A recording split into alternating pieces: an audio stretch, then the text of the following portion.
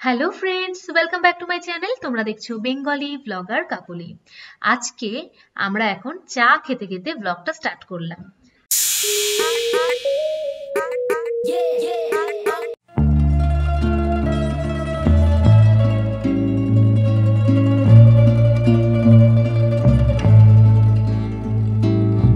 কি ভাবছ, রান্নাঘরে এসেছি রান্না করতে? সুখবরটা হলো আমাদের ডিনারও কমপ্লিট হয়ে গেছে। ডিনার করার পরে এখন এই যে দুধ পুলিটা ছিল, সেইটা ছেলে আর আশিস একটা করে খাবে পুলি। সেজন্য আমার গরম করছি, কারণ ফ্রিজের ভেতর ঢুকিয়ে রেখেছিলাম। একটু গরম করে খেলে ভালো লাগবে। যদিও পিঠে ঠান্ডাই খায়, কিন্তু ফ্রিজ থেকে বার করে তো আর খাওয়া যায় না, আর এখন নর্মাল টেম্পারেচারে আসতে অনেক সময় লাগে। সেই জন্য একটুখানি গরম করে নিলাম, তারপরে এখন ওদের দিলাম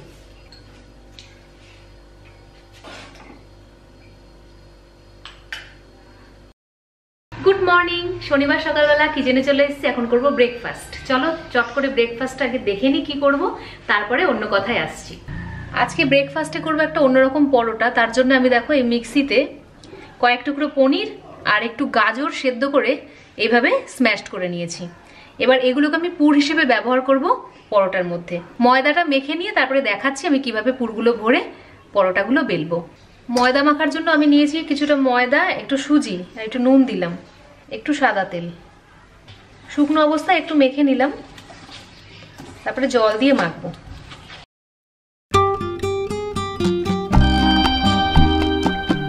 দেখো আমার তিনটে পরোটাই বেলা হয়ে গেছে।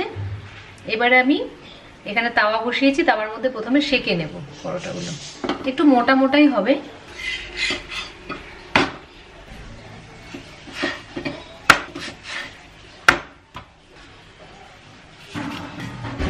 সেকে নেওয়ার পর আবার তাওয়াতে একটা একটা করে দিয়ে অল্প অল্প তেল দিয়ে ভেজে নিতে হবে।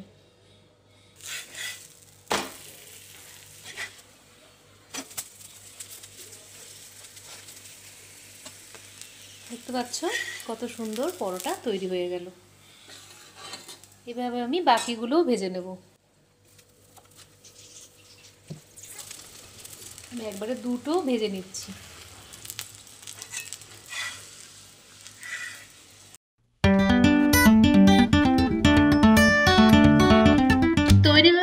ছানা আর গাজরের পরোটা, আর এর সাথে রয়েছে আলুর তরকারি। তাহলে ব্রেকফাস্ট আমাদের ভালোই জমে গেল আজকে। কয়েকদিন ধরে ঘটে যাওয়া একটা ঘটনাকে কেন্দ্র করে আমরা অনেক কিছুই দেখতে পাচ্ছি। তো এতদিন ধরে আমি কিছু বলিনি, আজকে একটা কথাই বলতে চাই। সেটা হলো, ধর্ষণ একটা জঘন্যতম অপরাধ। এনকাউন্টার করে হয়তো কয়েকটা অপরাধীকে আমরা শেষ করে দিতে পারি। কিন্তু যেটা অপরাধের রুট সেটাকে কিন্তু এভাবে ফিনিশ করা সম্ভব নয়। তাই অপরাধীর কোনো জেন্ডার হয় না, সে অপরাধী হিসেবেই যেন বিবেচিত হয়। অপরাধ ছোট হোক কি বড়, সবই কিন্তু অপরাধ। আর প্রথমেই যে একটা বড় অপরাধ করতে আমরা নেমে পড়ি তা কিন্তু নয়। এই অপরাধের বীজ আমাদের শৈশব থেকেই আমাদের মধ্যে গ্রথিত হতে থাকে। অপরাধ প্রবণতা, একটা অসুখ। একটা সামাজিক অসুখের সঙ্গে সঙ্গে একটা মানসিক অসুখও। তাই আমার মনে হয় এই সামাজিক অসুখ দূর করার দায়িত্ব আমাদের সকলের। এমনকি আমাদের যাদের মধ্যে এই সামাজিক অসুখ একটু হলেও লক্ষিত হয়, তারা নিজেরাই সচেতন হওয়ার চেষ্টা করব। যখনই আমাদের মধ্যে অপরাধ প্রবণতা জাগবে মনে করছি, তখনই আমরা কোনো বিশেষজ্ঞের পরামর্শ নেব। কারণ সকলের সামনে অপরাধটা খুব কমই হয়। অ্যাকচুয়ালি আমি ক্রাইম বলতে চাইছি, সবই লুকিয়ে বা গোপনে হয়। সুতরাং এটা কোনো কথা নয় যে সোসাইটির এফিসিয়েন্সি কম, এইটা মাথায় রেখেই অপরাধীরা অপরাধ করে। না।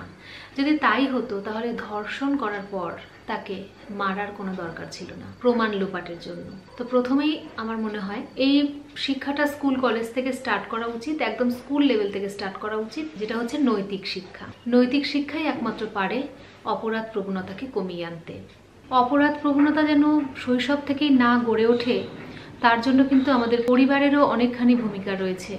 আরেকটা কথা আমি বলব, যারা স্কুলের গণ্ডি অবধি পৌঁছতে পারে না, অথবা স্কুলের গণ্ডি শেষ, কলেজের গণ্ডি শেষ, তথাকথিত ম্যাচিওর বা অ্যাডাল্ট তাদের জন্য কি করা যেতে পারে? তাদের জন্য একটা কথাই আমি বলব যে, যখন সত্যি মনে হচ্ছে যে এই ধরনের কাজগুলো যেগুলো সবার সামনে করা যায় না, সেগুলো আমাদের মনের মধ্যে আস্তে আস্তে বাড়ছে, সেগুলো করার টেন্ডেন্সি বাড়ছে। তখন প্লিজ আমার হাত জোর করে অনুরোধ সাইকোলজিস্টের সহায়তায় চলে যান। একটা সুস্থ জীবন নিজেরাও বাঁচুন এবং অন্যদেরও বাঁচতে দিন। ব্যাস, আমি এইটুকুই আজকে বলব। এবারে চলো আমার ব্লগে চলে যাই। শুভ দুপুর। আজকে রান্নাবান্না কিছুই শেয়ার করতে পারিনি, তো এখন আমরা খেতে বসছি, সেটাই তোমাদেরকে দেখাচ্ছি। আমি দেখো বেতো শাক রান্না করেছি, তো ভাত বেড়ে নিলাম আমার আর অল্পর জন্য। প্রথমে শাক দিলাম, তারপরে দেখো আজকে কি কি রান্না করেছি। আজকে আমি রান্না করেছি মটর পনির, আর করেছি আলু ফুলকপির একটা তরকারি। এই যে, তো এবারে আমরা খেতে যাচ্ছি।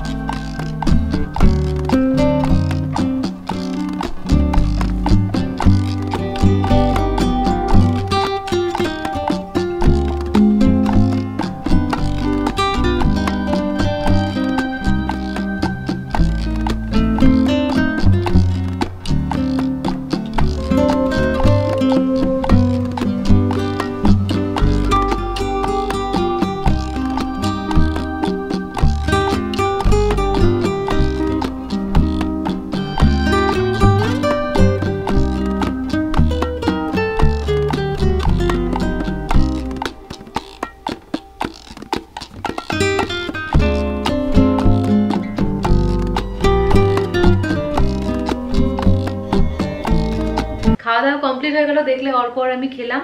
আর আশিস একটু আগেই খেয়ে নিয়েছিল, কারণ শরীরটা ওর খুব একটা ভালো নেই, জ্বর জ্বর একটা ভাব আছে ওর এখন আবার। তো সেজন্য আগেই খেয়ে একটু শুয়ে রেস্ট নিচ্ছে, কারণ একটু পরে আবার অর্ককে নিয়ে বেরোতে হবে টিউশনে অর্ক আবার সাড়ে পাঁচটার সময় বেরোতে হবে টিউশনের জন্য বেরোবে। আর এখন আমি খাচ্ছি লেবু, কমলা লেবু। রোদ দেখো অলরেডি নিভে এসছে। তো এই আর কি, দিনও ছোট হয়ে গেছে প্রচুর পরিমাণে। বাইরে জামা কাপড় তোলা হয়ে গেছে। মোটামুটি রেগুলার ওয়ার্কটা কমপ্লিট আর এক্ষুনি আমার মাসিও চলে আসবে, সে বাসন টাসন মেজে দেবে। তো এই দিকটা নিশ্চিন্ত। গুড মর্নিং আজকে হচ্ছে রোববারের সকালবেলা। গাঁদা ফুল দেখতে পাচ্ছ উঠোনে? আর দেখো, ওইদিকে অর্ক ওর বাবার সঙ্গে বেরিয়ে যাচ্ছে টিউশনে। আজকে সকাল সকাল পড়া রয়েছে। আজকে রয়েছে ফিজিক্স পড়া, সকাল সাতটা থেকে।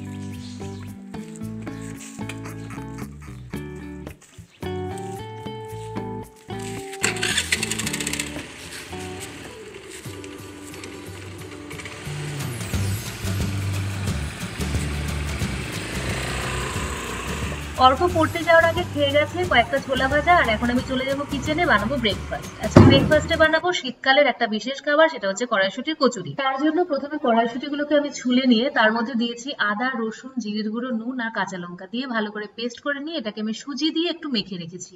তারপর এখানে দেখো ময়দা মেখে রেখেছি, ময়দার মধ্যে দিয়েছি কালো জিরে, নুন আর তেল। খুব একটা শক্ত নয়, আর খুব নরমও নয়। তো দেখো, এবারে আমি কড়াইশুটির পুরগুলো এর মধ্যে ঢুকিয়ে নেওয়ার জন্য বাটি তৈরি করে নিলাম সবগুলো আগে। তারপরে আমি এবারে একটু একটু করে পুর দিয়ে, দেখো এগুলো রেডি করে নেব। পুরের জন্য আমি এইটুকু এইটুকু করে নিচ্ছি, নিয়ে এইভাবে ঠিক বানিয়ে নিচ্ছি কচুরির লেচিগুলো।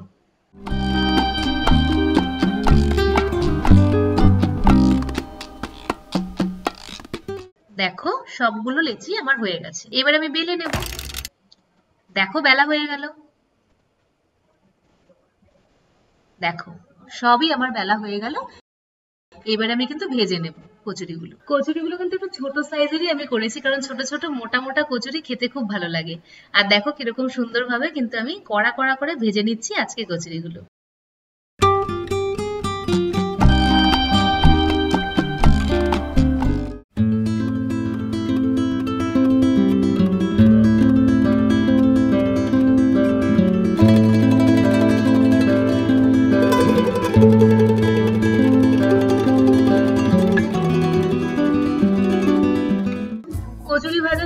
গেছে আর এখন আমি টেবিলে নিয়ে এসেছি কচুরি আর আলুর চচ্চড়ি। তিনজনে এখন ব্রেকফাস্টটা করব। আর এদিকে আমাদের বাড়িতে আজকে বেসিনটা বসানো হচ্ছে। তোমরা অনেকেই জানতে চেয়েছিলে বেসিন কবে বসানো হবে। তো সেটা আজকেই বসানো হচ্ছে। আর সেই জন্য আমি আজকে আর ব্লগটা বেশি বাড়াচ্ছি না। আজকের মতো আমি এখানেই আমার গল্পটা শেষ করলাম। নোটে গাছটা আজকের মতো মুড়লো। আবার আমি ফিরে আসব খুব তাড়াতাড়ি। আজকের মতো tata take care all of you